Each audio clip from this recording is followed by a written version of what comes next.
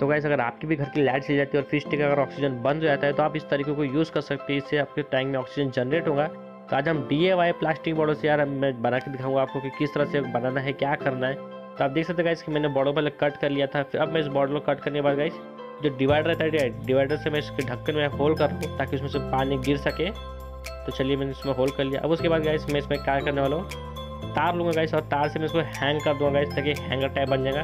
ताकि मैं इसको अपने टैंक ऊपर लटका सकूँ। देख सकते हैं, मैंने बना लिया। अब मैं इसको हैंगर लटका आपको पानी कभी भी टैंक का ही यूज़ करना है, नया पानी यूज़ मत करना।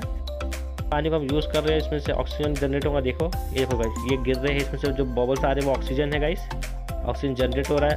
और गाइस जो बचल हुआ बॉर्डर था, उसको मैंने हैंग कर दिया ताकि बर्ड्स आगे पानी